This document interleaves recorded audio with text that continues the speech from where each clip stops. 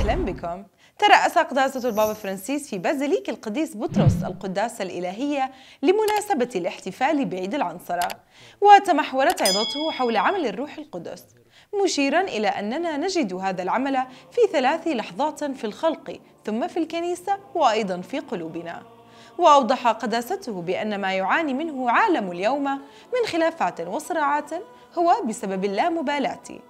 وأن ما يفعله الإنسان من شر يبدو غير قابل للتصديق مؤكدا بأن ما يغذي عداواتنا هو الشيطان. ووصف البابا فرانسيس في مقابلته المسيرة السينودسية بأنها فرصة كي نكون مطيعين لنفخة الروح القدس.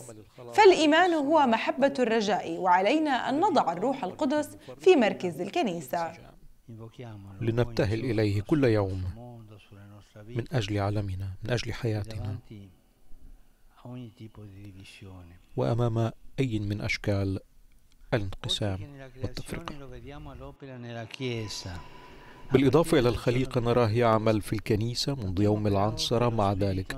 نلاحظ أن الروح القدس لم يعلن بدء الكنيسة بإعطاء تعليمات أو أحكام للجماعة بل نزل على كل واحد من الرسل وأعطى كل واحد منهم نعما خاصة ومواهب مختلفة. يمكن لتعددية هذه العطايا المختلفة أن تؤدي إلى الفوضى لكن الروح القدس كما في الخليقة يحب أن يخلق الانسجام ابتداء من التعددية.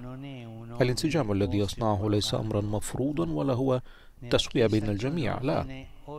في الكنيسة يوجد ترتيب ونظام بحسب تنوع مواهب الروح القدس.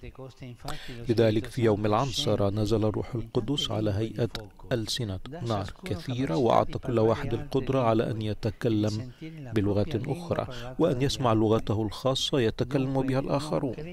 إذا لم يخلق لغة موحدة للجميع ولم يلغي الاختلافات والثقافات بل خلق الانسجام بين كل شيء من دون أن يفرض تسوية بين الجميع ومن دون أن تصير كلها متشابهة.